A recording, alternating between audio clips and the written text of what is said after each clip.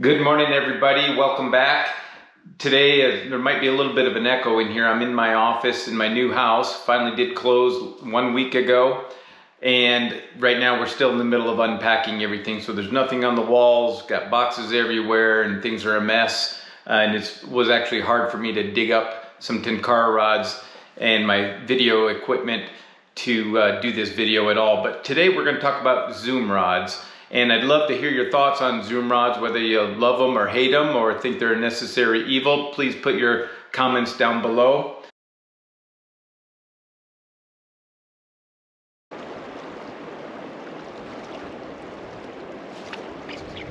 There we go. Here's a right in front of those submerged rocks. Oh, he's burrowing in them.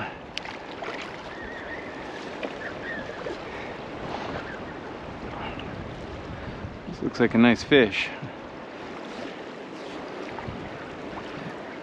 It's a brown.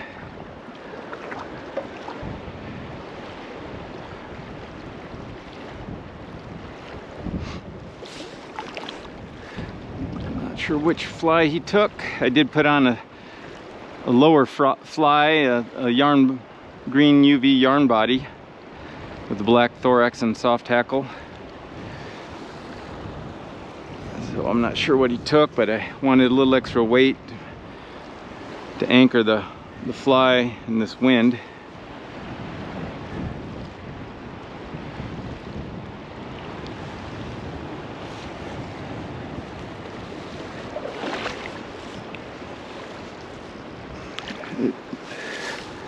Oh yeah, that's a real nice brown. Long, but skinny. Took this tungsten surveyor, which is the top fly. There we go. Get the other fly out of there. There. See if we can get a look at him there. He's about seven and eight is 15 inches or so. A little on the thin side, but and I did wet my hands. Just didn't see it off camera. There we go.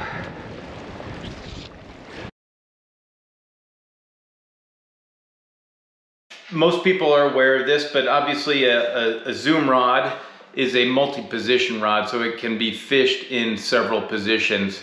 Now they've been around for a while. I know most people or a lot of people think Tenkara USA um, you know, there's Sato and Ito and so on were some of the early ones. Uh, but actually, Chris Stewart from Tenkara Bum had imported some from Japan uh, even before that.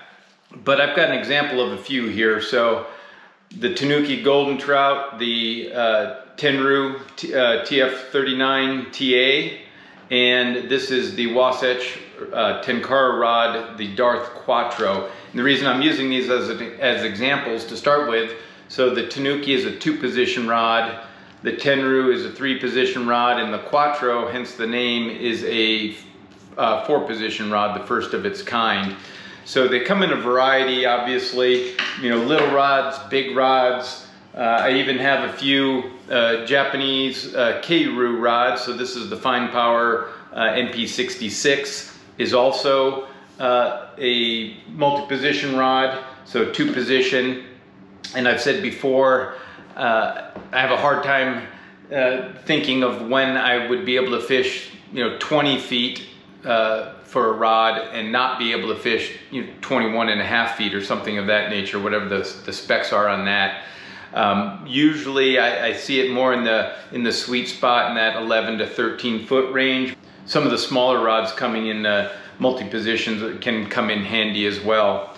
So you can have obviously extremely short ones, and you can have very long ones. So this is the Gamakatsu uh, Tsuimu uh, uh, 5.0, EX 5.0, and we'll talk a little bit more about that, but they come in a variety, I guess is the point I'm trying to get at.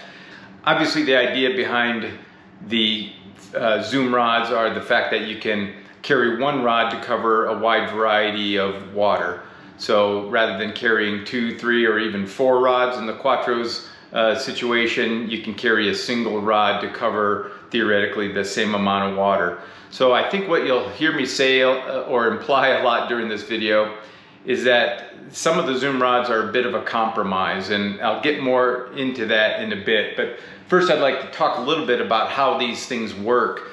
So, and I'll put up, I'll put up pictures of these, but the Quattro and other zoom rods, most of the zoom rods have a, you know, O-rings on the butt cap. So the stem, so the, the lower sections seat on those O-rings.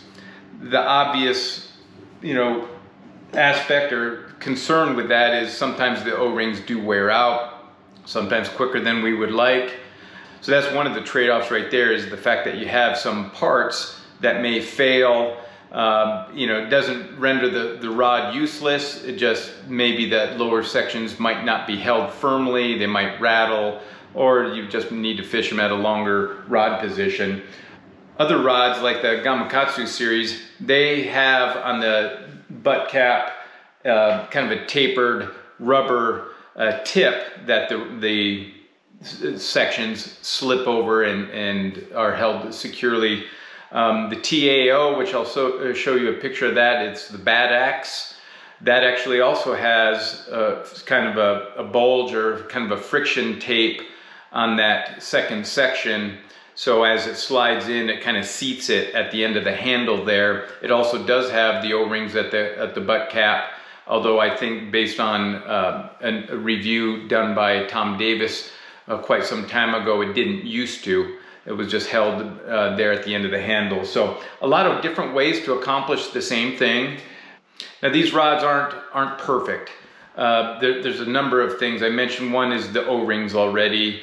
The second had to do with the heck and have a different feel between the different rod uh, lengths. And they tend to be just slightly heavier with the additional parts and the you know the additional section on the the butt cap um, you know and they have to make them so they don't rattle when they're at their you know uh, intermediate positions as well. Um, and the balance won't be the same obviously at the longer length as it will at the at the shorter length. So I can I can say uh, confidently that probably any of the rods that are zoom rods uh, for a given length, whatever length that may be uh, that the rod uh, will fish in, I can find a rod that same length that I prefer better. Um, and the reason that is, is for things that we've talked about, they're a little increased weight, um, the, the flex is a little bit different, so it's a compromise across the, the variety of lengths that a, that a rod has. Um, the other aspect of it that you don't really think about until you go to fish them is you may want to carry additional lines with a, a rod that is you know fishable at multiple lengths.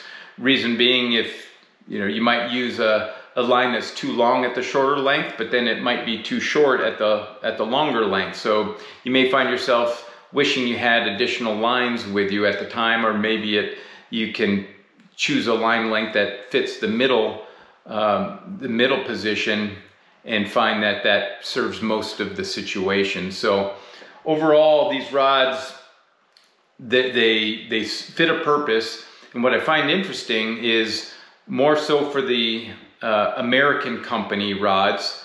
And I've done a video talking about Japanese company versus American company.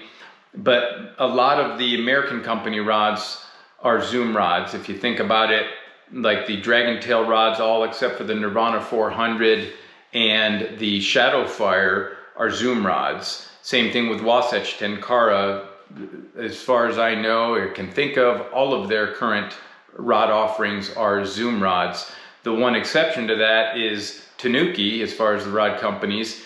Uh, he only has the Golden Trout is the only one, and that's uh, out of stock right now. I'm not sure if it's going to be replaced somewhere down the line. It is a two position, and that's Luong's only offering in a zoom rod. And from talking to him as well as some of the other rod makers, um, it's really challenging to design a multi-position rod that meets their performance criteria or expectations uh, based on weight, based on flex. Uh, you know, so some are hesitant to do that if, if they can't make it feel the way they want it to feel, which is easier with a single position rod. So again, trade-offs.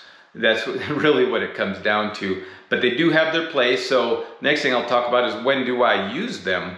Um, uh, I can say in one breath that I would prefer a single position rod for a given length compared to the zoom rods. Uh, but the fact is I do use a lot of zoom rods. And so I do a lot of backpacking.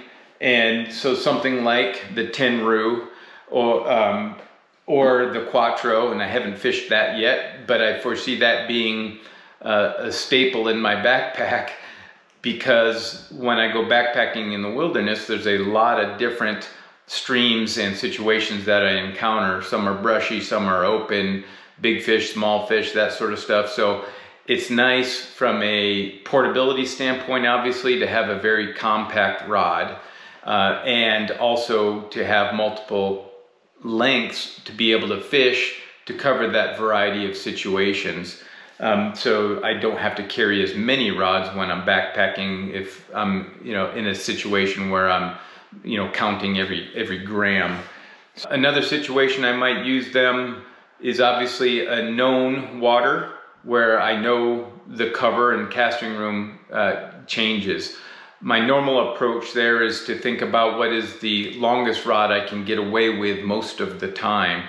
And I'll start with that as the, the longest position of the zoom rod that I'm uh, intending to take with me and obviously go shorter from there. You could also do it the opposite of what's the you know smallest, most restricted part of the stream and start with the shortest length of the zoom rod, which that would work there. Now there's some streams that does, doesn't matter. It's going to be, the rods are going to be too long.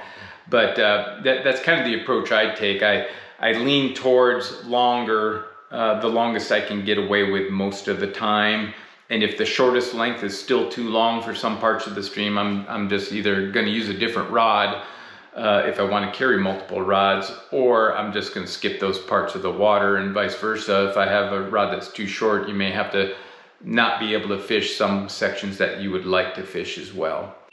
One aspect that I've come across a couple times where having a zoom rod has been helpful uh, was actually specifically with this uh, Gamakatsu 5.0.